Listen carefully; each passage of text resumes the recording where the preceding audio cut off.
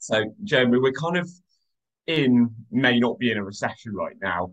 Um, Microsoft have just laid, uh, announced their 10,000 staff layoffs. Um, technically, we're not in a recession because the economy grew by a whopping 0.1% in November because there was a World Cup on. Um, but ah, okay, that's still, the reason. yeah, but still, um,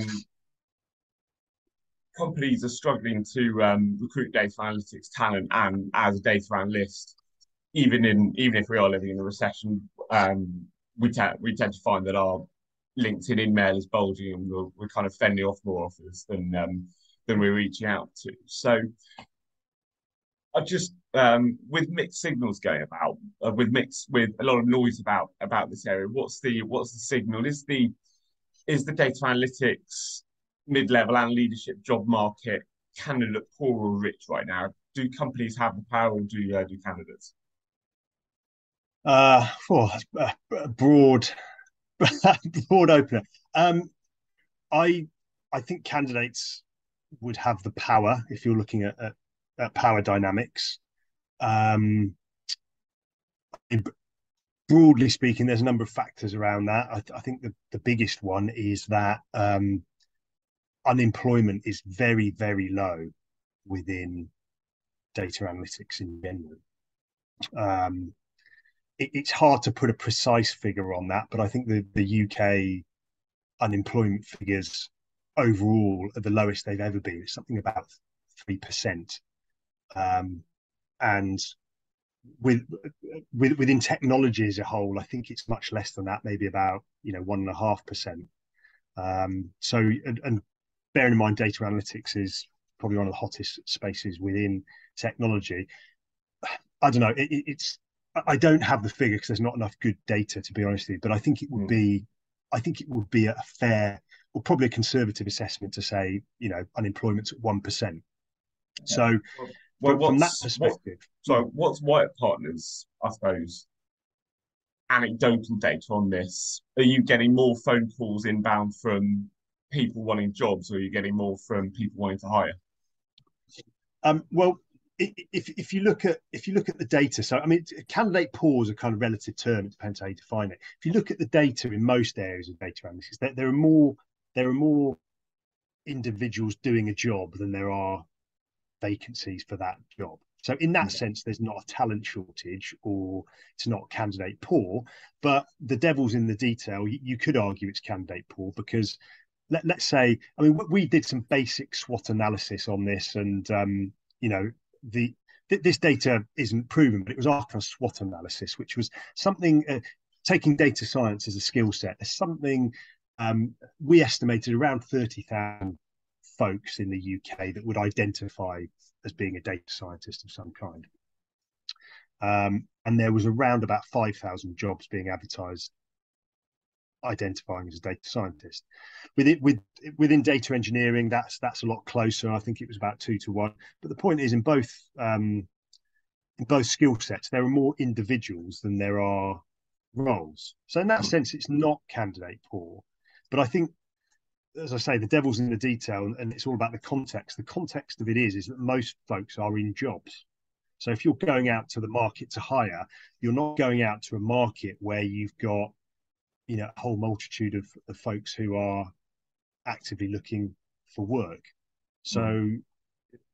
I think that's why companies struggle with just you know putting a job advert out and perhaps they expect that you know they're going to get a whole influx of uh, well qualified candidates. It doesn't work that way. Um, okay. As I say, broadly speaking, because unemployment's very low, most people are in, in good jobs. Okay, and when and when a company puts out a uh, an advert trying to get trying to get interest trying to get candidates. What what are the most common mistakes they're making? What are the most um, what are the most obvious red flags on a job spec from a company that um, that that tells you they're not going to fill this role in six months? Um, well, I, I think in in general, I think um, the, the, strategy of most companies' strategy is well, we'll put out a job advert and you know hopefully we'll get some great applicants. That's mm. that's kind of it. And I think in reference to what I was saying before, I think that is uh, a strategy that doesn't work most of the time, as I say, because essentially what you're doing, you, you're trying, you're, you're hoping that that Mohammed is going to come to the mountain. If we put a job out of out, we're just going to get a load of influx of our of, of the exact candidates we want.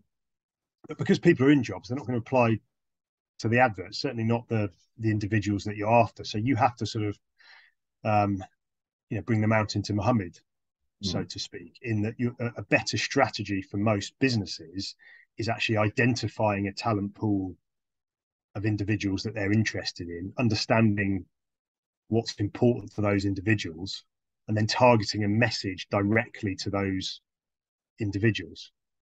For, for a leadership hire, it's um, but but there's a number of things. I mean, you've got to start at the at the success criteria. I think that's that's what a lot of companies don't do. It's actually what what are the success criteria of this leader and his team? What is it that we're trying to affect in the business? you know, be that is that are we trying to acquire more customers? Are we trying to increase revenue? Are we trying to improve operationally? If so, mm. by how much? What are the percentages? So what what are those success metrics? Um, you know, those metrics might be more vague than that. They might just be, well, you know, we're, we're trying to give our our hiring man our managers within the business uh, the ability to take better decisions, and, that, and that's fine mm. as well. It's a bit more vague, but certainly you, you can put metrics around that as well. So it's like, what are those metrics? Mm. And based on those metrics, what kind of leader do we need to hire? Let, I think in my, let, us yeah. Mm, so in my experience as a um, as a data analyst and someone working in in teams and seeing leaders being hired and come and go, um, a lot of companies think they're doing that. So they they think that they uh, they they hire a a new head of data in mind to maybe sort out a migration project to move all the uh, all the email marketing data onto new USP, for instance, or implement a new CRM, or to build a specific body of reports for new compliance um, regulations they need to adopt. But then the data, the data analytics, analytics leader comes in well suited to that and believing they're going to be doing it. But then there a lot of other things are expected of them as well, which maybe they didn't know about or um, the uh, the company weren't quite honest with them about, so they might be expected to kind of maintain. Um, so so if your if your focus is building is uh, increasing business intelligence, they'll they'll be expected to, to run operational shadow IT as well. So as a um, mm. which can frustrate frustrate that um, frustrates data analytics leaders once they're in the job. And so kind of like as a um, as an executive search and recruitment expert, how do you help try and steer companies away from doing that and trying to steer them towards being as honest as possible. They, um, well, um, well, a, a, lot of the work that we do is not, uh, particularly on leadership hires. A lot of the work that we do is not recruiting. It's kind of it's kind of consulting and, and getting a company ready to recruit.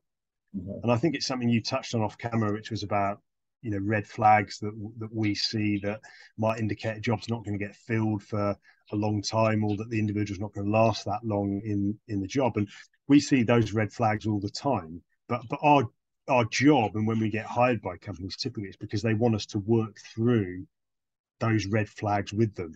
They, they want mm. that um that guidance on well how they want the guidance on well based on what we want to achieve what what does our target candidate market look like?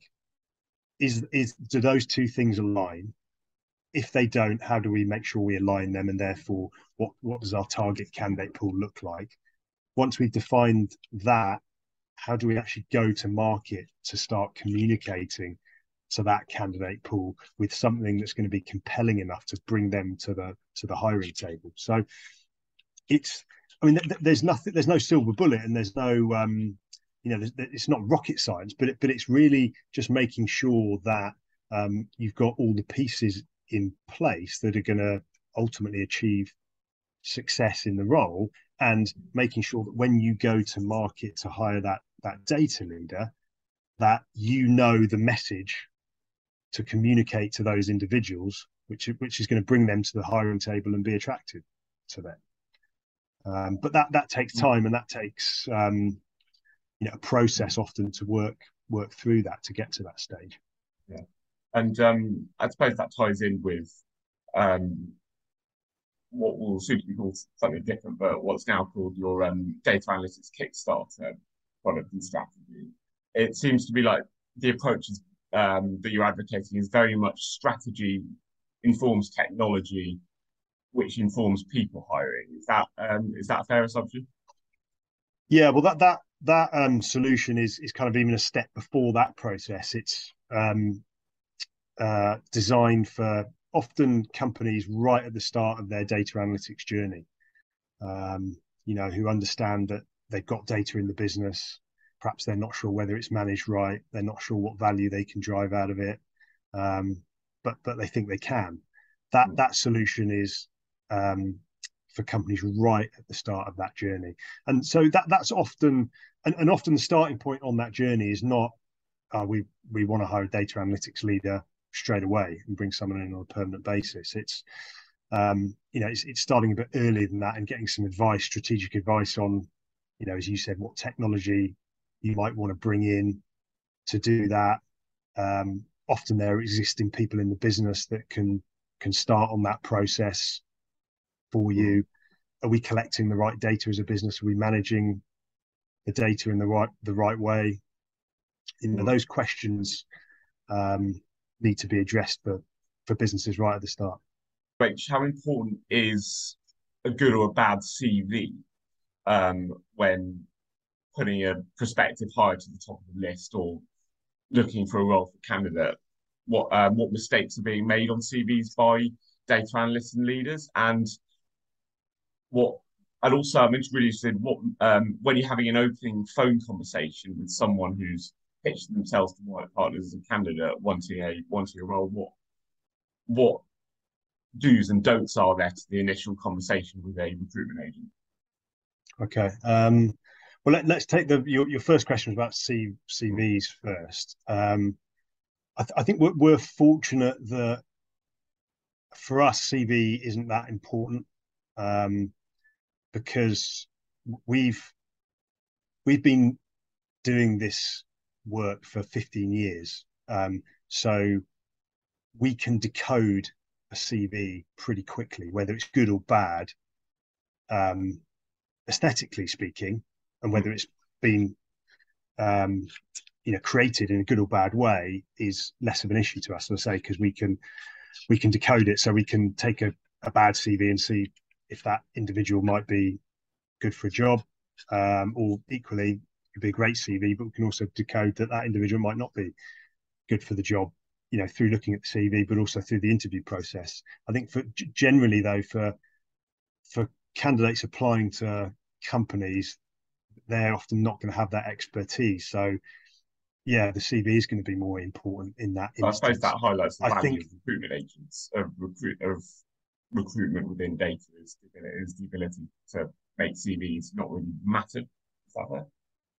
Yeah, absolutely. I mean, we, we don't, you know, we, we don't, when we submit candidates, the way we present candidates is on a, on a digital portal, which um, a CV is just a very small part of that, that presentation. Okay. So it's a really mm. a small thing rather than the big thing, because as I say, you, you're trying to, you're trying to present the whole individual. But I mean, going back to the point about they're not going to have that luxury necessarily candidates when they're applying to companies generally. So CVs do become important in that instance, and they can even you know they can be accepted or rejected prior to even having a conversation. So in that is that CVs become really important. I think I think the big like overarching thing I'd, I'd say to people is their CVs are too long more often than not. Most people's CVs are too long more often than not. You don't need more than a page and a half, and they're not people lack the sort of um, the clarity and impact in a CV. Um, the, uh, and this is generally speaking, I think people lack the ability to, in a really precise way, put across what it is they do that has impact in a business. Um, mm. both both in the written word, but often also verbally as well. Um, so that that would be the biggest thing. So, you know, it's, too too much to go into here, but as a takeaway for people, it would be it would be and a good exercise to go through is one of stripping out as much of the the the sort of chaff, if you like, within a CV and really boiling it down to um, to what's important and what's going to be impactful. Mm. I suppose um no that's that's that's that's all ex um excellent um advice for people to take away to um to implement because I think a lot of a lot of people in um in technical roles like data flood it with skills and um and technologies that they've learned um and kind of actually bury what they achieved within their last one or two roles under that and um get get the sense that that's actually um and and I mean um and there is there's a kind of a sense of dropping your ego uh, a bit when you're filling out a CV and making sure that you're not putting every technology you know under the sun to kind of make yourself feel good about it. Um, sometimes less is more. Yeah, well, I think it's probably not ego. It's probably the opposite. It's probably more insecurity. I think most mm. of the times people maybe feel a bit insecure, so to feel they need to like brain dump everything on there, and that's it's it's, it's the opposite. You know what? More than anything, it's just it, it, you know in, in in the in the shortest way possible. Just describe what you've been working on, maybe in your last couple of roles, how you did that, the impact it had. Um, you know, a, a, good CV really should probably only be one page. Mm. You know, and, and and this is kind of indicative. Often, actually, is an indicative thing of, of often the the issues data analytics folks have of communicating with with business folks. Mm. You, you see that as a sort of visual representation in the CV most of the time. Okay. Um, so it's kind of it, it is important because actually, if you can if you can get across in, in a really precise way to someone that's non-technical they can see your cv and, and within 30 seconds they can understand what you're about and what you've been working on. You know that's that's a kind of that, that's indicative of someone that might be able to have an impact in in your business with business users. And just I, do want to kind of ask about the um the initial phone conversation as well because that is that's the kind of first bit of the relationship that you form with a with an executive search firm or recruitment agency is one will you will apply for um, say apply for the job on LinkedIn and then that goes via recruitment agency who are working on behalf of the company. That's one of one of that's one way. Or they will approach you on LinkedIn and say, "We've got this role.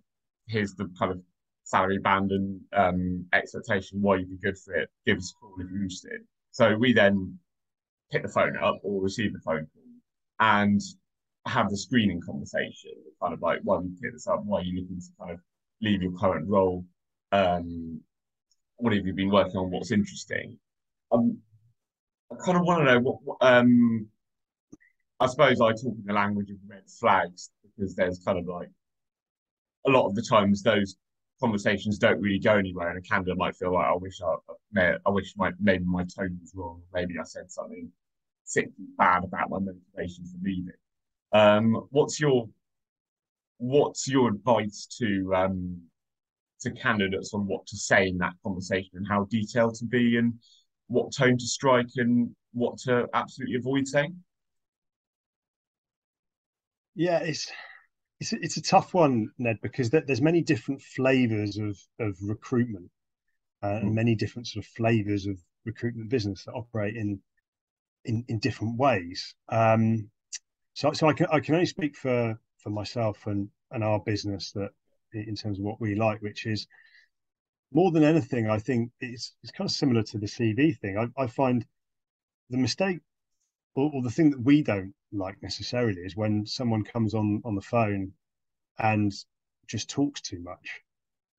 Mm. And and what I mean by that is you, you sometimes find this, you speak to someone for the first time and the first 10 minutes is is them just brain dumping mm. everything they've ever done in in their career in, in a sort of like uh um you know uh life story kind of yeah, yeah in a life story with with, with no um direction or just just brain dumping with the expectation mm. that, that now I've got that off my chest just you know now you know put the perfect role in front of me and that's not the way to um to, to approach it mm. by any means um, I, and I don't think that's the that would be the way to approach it in any circumstances with any uh, recruitment professional or business. I suspect. I mean, what what we like and what I appreciate is is conversation initially. Mm. You know, I want to have a conversation with someone. I want to get to know them, and I want to get to understand them, their situation, and, and how I can can help them. Because, you know the majority of conversations we have with, with people are actually way before that sort of transactional conversation about oh, there's a specific job you know because actually you mm. can if you can understand people what their values are what their aspirations are mm. that's before there's actually a role that's a much better way of doing it because then you know when you do get that right role you can i can pick up the phone to you ned and say hey ned you, you know I know because we've got to know each other. I think this job would be great for you. Do you want to have a chat about it? So that's sort of um, the better thing to do. And but also it's you know I think now from a data analytics perspective in context, we're, we're sort of moving more and more towards a world of of sort of you know no code technology. So uh, as much as the soft skills and communication skills were were important before, I think they're becoming more and more important um, in the data analytics sphere. So you know those those um, skills um, and, and assessing for those skills is something that's really important to us. And and also assessing you know, every every client that we're going to work with is going to be slightly different. So you know one of the big things completely outside of, of the technical sphere is you know that we always look for is does this individual have shared values with the client that we're that we're mm. working with you know? And and the, and, and the way to the way you assess that is just through you know through conversation and and getting to know someone in their situation. So um yeah, so uh, look to, to that was a long answer, but to, sum it up for people, don't don't get into a conversation just brain dump everything you've ever done. That's the wrong way to do it. If anything, just listen more, ask great questions, and and treat it as a conversation.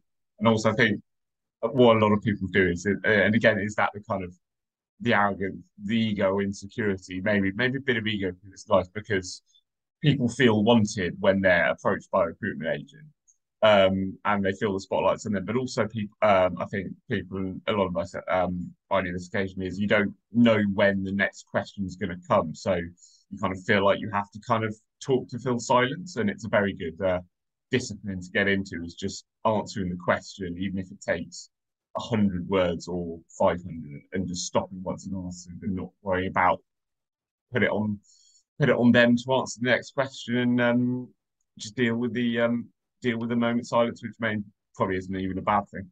Um, so a lot, a lot of people just um, talk, talk to fill uh, to avoid dead air, as they say in radio. Yeah, um, yeah, that's true. I mean, that, that that's just a you know outside of recruitment, that's just still being in a recruitment process. I think that's a yeah. life skill, isn't it? But but certainly yeah. in the context of a, a recruitment conversation, if you're if you're in a position where you're not able to have a conversation with whoever that individual is at, at the other end who's yeah involved in that process or part of that process if you're not able to have a conversation and it's and it feels transactional and you're being made to feel transactional you know the question you probably got to ask yourself is that a mm. is that a company that i i want to deal with mm. and, also, and yeah, is that a company I'd, I'd want to work for you know you can pick up a lot of as a as an applicant as a candidate you can pick up a lot of um you know flags yourself from mm. those initial initial uh, conversations the um just your opinion on data analytics, board level leadership. So there's always, I think, chief technology officers always um, been the longest standing C-suite level tech um, tech one, but I think chief data officers been been very big over the last ten years, and now we're now seeing more kind of chief analytics officers coming up as well. Um, so, which is I think a good sign that analytics is getting attention at board level, but also it is might be part of a trend of the chief anything officer, as I call it, which is kind of like um, just because and just because you give something board level representation doesn't mean it's kind of get really advancing in the past struggled against maybe I know sales, marketing, and chief operation officers. Is just in that context is is it help? Is it a good sign having more C level representation at um, for data? And is is if you're a chief analytics officer or chief data officer, is that the holy grail in itself, or is that really a stepping stone to the chief technology officer? I, I, I don't think it's a stepping stone to the chief technology officer, but I, I do think that smart data analytics leaders um, should think about the next step after the top of the data mountain. So if you imagine mm. the hmm. top of the data mountain, CDO, CDAO, um, I think smart folks in data should think about the next step after that because you know, to, to, what you were talking about there, there's sort of context to everything, and, and most chief data officers, even though there, there's more and more chief data officers with that job title, chief data analytics officers, most of those roles don't sit, at, despite the C-suite title, most of them don't sit at the exec board level. So. Mm. You know, we, we we could talk for hours about why why that is, and, and then why the C-suite um, title is still applied. That's that's probably another conversation, but but most don't. And, and my opinion on this, and uh, you know, maybe I should be a trumpeter for the, for the data industry as I'm kind of I work in it, but I, I, don't think the chief data officer role is here to stay long, long term. Um, I don't think anyone needs to worry. I think it's going to be around for you know a good ten, maybe even twenty years. But I, I think long term, I I think it'll um, uh, it'll it'll die off because businesses will become inherently more data driven and those sort of transformational processes won't need to happen anymore. So I, I think for smart, and you already see this actually, you know, the um, really top uh, data leaders, chief data officers transitioning into different roles, strategy roles, or you know, chief product officer um, roles that um, you know probably sit close to the business and closer to that exec board or on that exec board. So um, yeah, I guess I just encourage data leaders to maybe think that data isn't the as weird as that sounds. Maybe sort of the, the CDO isn't the top of the mountain.